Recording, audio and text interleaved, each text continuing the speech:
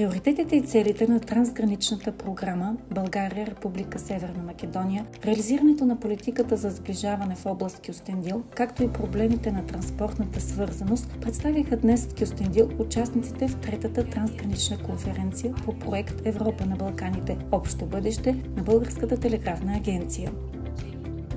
Повишаване на свързаността, интегрираното развитие и по-зеленото развитие са трите приоритета на трансграничната програма България Република Северна Македония, които очерта Тони Якимовски, ръководител на съвместния секретарят на програмата за трансгранично сътрудничество между двете страни. Укрепването на териториалното сближаване между България и Република Северна Македония е общата цел на трансграничната програма между двете страни, посочи Якимовски.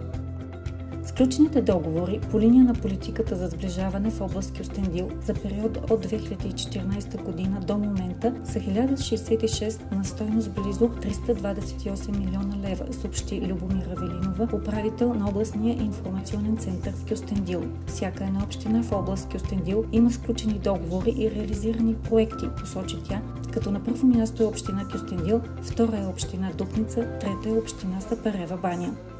Липсата на транспортна свързаност пречи за развитието на бизнеса и в тази насока трябва да се търсят варианти, които да подобрят тази връзка между двете страни, за да помогнат на бизнеса, както и за привличане на инвестиции в региона, защото регионът има добри условия за развитието на успешен бизнес, каза Йордан Беловодски, главен секретар на Търговско-промишлената палата в Кюстендил и изпълнителен директор на браншовата организация по текстил и облекло. Според Беловодски и в България и в Република Северна Македония няма нормални транспортни връзки, които да съдействат на бизнеса от двете страни на границата.